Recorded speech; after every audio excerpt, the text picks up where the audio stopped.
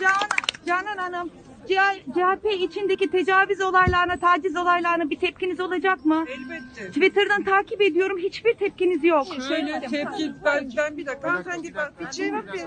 Hanımefendiciğim hemen şunu söyleyeyim. Çok haklısınız bakın. Tecavüz, taciz olaylarını değil herkesin tepkisi olması lazım. Tepki Twitter'dan değil. Tepki nasıl verilir biliyor musunuz? Beni dinleyin. Tamam. Tepki kadın kim olursa olsun, nerede mağdur olursa olsun anında gereği yapılır, yargıya teslim edilir Tamam, ve güzel. o kadının yanında olur. Peki bunu Buyurun. güzel söylüyorsunuz da her konuda tepki gösteriyorsunuz Twitter'da. Bu konuda göstermediniz. Madem bu konuda bu kadar hayır. ki. Ben Peki. takip ediyorum sizi Twitter'dan. Dikkatli takip edin. Açıklamalarımı Gayet güzel takip Peki. ediyorum. Siz dediniz ki mağduru korumak adına dediniz. Onda 2-3 gün sonra dediniz. Bu arada 12 tane cinsel taciz ve tecavüz olayları ifşa oldu. Madem bu kadar hassassınız. E, e, şey vakfında e, siz söyleyin adını. Ensar Vakfı'ndaki taciz olayında anında Sosyal Politikalar Bakanlığı müdahil oldu. Hı. Anında ceza aldırıldı.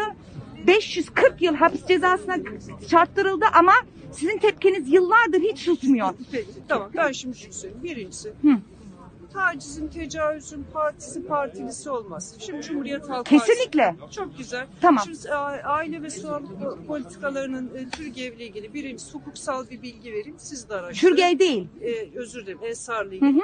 E, alınmış 540 yıl bir ceza yok. Onu siz kendiniz benim... Hayır. Bir- dakika. Var, var. Lütfen Canan tamam. Hanım lütfen. Peki ben... Yani manipüle etmeyelim. Hani siz manipüle etmekte çok ustasınız hakikaten. Tamam, ama beni Yani. Peki, e, ben dinliyorum başkanım. Tamam. Siz Ben- olayları kapatmakta zaten ustasınız. Mesela Kemal Kılıçdaroğlu nasıl geldi benim genel başkanlığa? Ya arkadaşlar yok yok yok. Bir yok. saniye.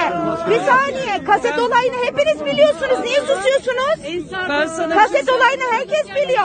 Sen Ben kadınsın. kadınım. Sen bütün kadınları koru. Ben, Ben koruyorum. Ben de diyorum ki Ben sana bir şey 12 söyleyeyim taciz olayı yaşandı. Yaşandı. Bir tane sesiniz çıkmadı. Üstelik Maltepe'deki de sizin çok yakın kankanız.